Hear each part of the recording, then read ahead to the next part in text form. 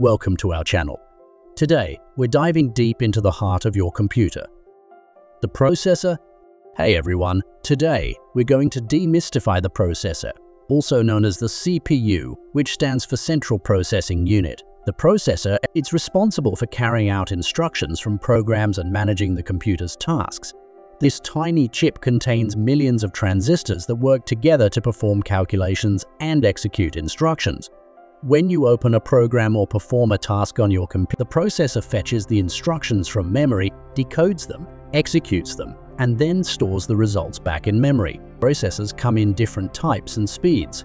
They can have multiple cores, which allow them to handle multiple tasks simultaneously, and they can have different architectures like x86 or ARM. Single-core processors can only handle one task at a time, while multi-core processors can handle multiple tasks simultaneously, making them faster and more efficient. The processor plays a crucial role in determining your computer's performance. A faster processor can handle more tasks quickly, while a slower one may struggle with demanding applications.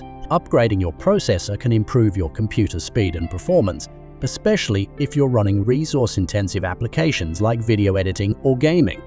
To sum it up, the processor is the brains of your computer, responsible for executing instructions and managing tasks.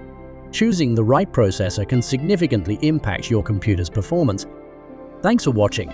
If you found this video helpful, don't forget to like, share and subscribe for more tech insights.